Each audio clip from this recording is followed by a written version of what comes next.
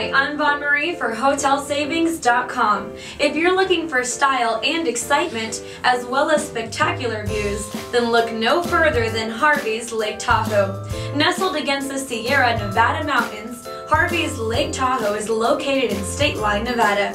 With the beauty and activity of Lake Tahoe at your fingertips, you're sure to never experience a dull moment. Modern decor is at the heart of Harvey's Lake Tahoe. Each room is outfitted in luxury linens, vibrant colors, sophisticated accents, and delightful views.